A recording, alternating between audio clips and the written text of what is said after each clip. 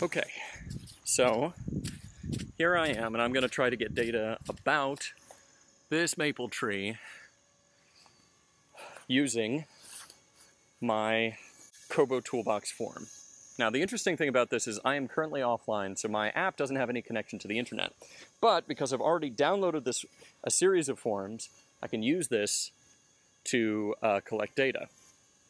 I'm going to open up this app, and the first thing it's going to ask for is my geopointer, my geolocation. I'm going to hit the button, and you can see that it's gathering my GPS data. the next thing I'm going to do is collect information about uh, the tree. So in this case, I want to take a picture of the tree. And here's the maple. Kobo can take photo information just fine. Next, it wants the diameter of the tree. And I'm pretty lucky because my mother is a seamstress. And so she left me some measuring tape.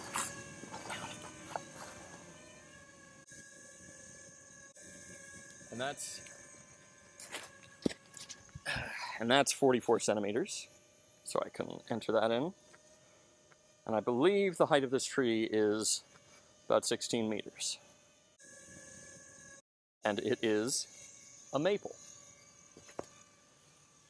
So, after all this is done, I can finalize this data as finished, and it saved it to my device's storage. The next thing to do is to go back online, so I'm going to turn off airplane mode and reconnect to the internet. I'm going to save this, or send this data in. So now it's sending the form,